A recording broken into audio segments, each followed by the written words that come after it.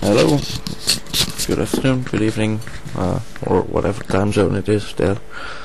Um, this is Marcus. This is my first video with commentary. It will be about the MSP 430 launchpad and coding for the MSP 430 itself.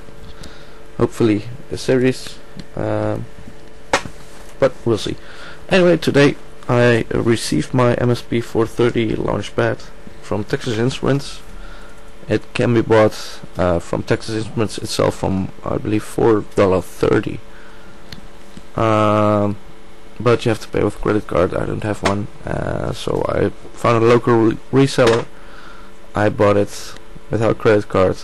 Uh, a little more expensive, but I ordered Thursday evening at 7 p.m.